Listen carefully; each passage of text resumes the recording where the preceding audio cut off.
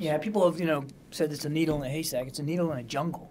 I mean, we're talking about a, an area roughly the, the size of West Virginia, and it's dense forest jungle. Um, and we do still believe that these girls have been split up into small groups.